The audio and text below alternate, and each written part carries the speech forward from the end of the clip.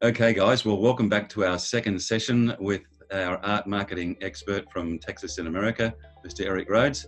Eric, we're going to be discussing why people buy. Can you tell us a little bit more about that? Uh, I think buying is purely an emotional decision. Um, most people think that decisions are made with logic, and you know, but why do people buy expensive cars when there's no logic behind it?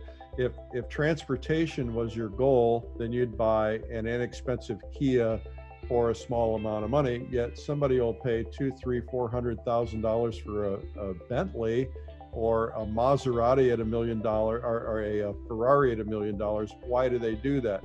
Well, that's all ego, and that's ego is emotion. And so paintings are the same way. And I want to tell you a quick story. Um, there was a fellow that was at one of my art marketing boot camp sessions at the plein air convention.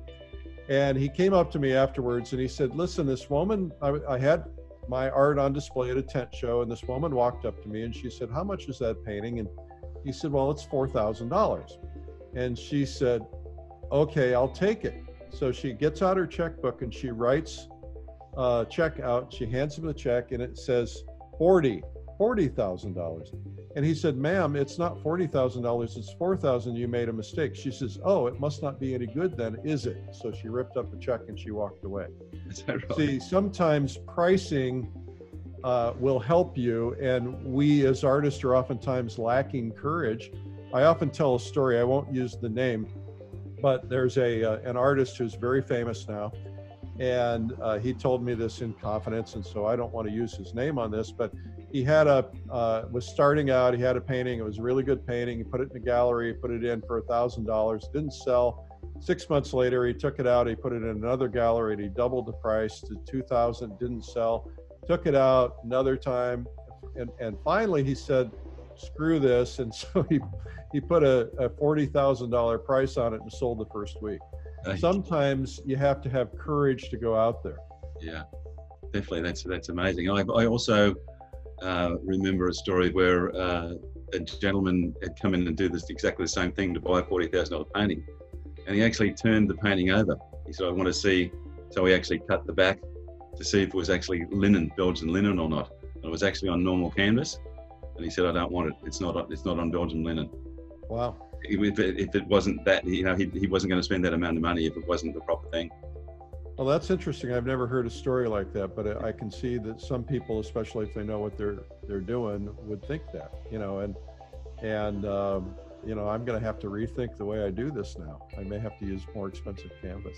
Yeah, because people, I mean, a, a, good investor will will turn the painting around and have a look at the back of the picture.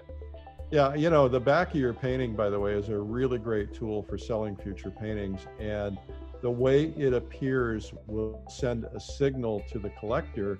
So, you know, if you've got a bunch of scribbles with a Sharpie on it versus having things nicely typed out, have your story on there and and and so on but I always like to put something on the back of my paintings that actually says to the buyer, because sometimes you don't know the buyer and sometimes the gallery won't tell you. It says, to the buyer of this painting, please know that I have a special gift for you. Please contact me at this email address. And they email you, you say, I have note cards uh, of the painting that I want to send you, and I'm going to put your name on them as the, you know, the John Jones collection and you send them the note cards. Now you've established a relationship with them. You've you've developed a, a uh, law of reciprocity, which is you're giving them something. They're going to now be a little bit more apt to buy something you, for you in the future. Yeah. I, I'm not suggesting you go around your galleries. I don't want that at all. I if somebody buys direct from me, I send the money to the gallery anyway. All right. Well, thank you, Eric. That was amazing. The information that you, you gave was just incredible. But we also um, have a fantastic opportunity to go in and view a webinar that you've put together that explains a lot more detail of what's going on. And uh, we'll be doing this over a period of time as well. So my suggestion is uh, the link at the bottom there where you can see the webinar. Go in, go and listen to Eric uh, speak about art marketing once again and get all of that fantastic information and uh, it'll definitely change your life. I can guarantee you that much.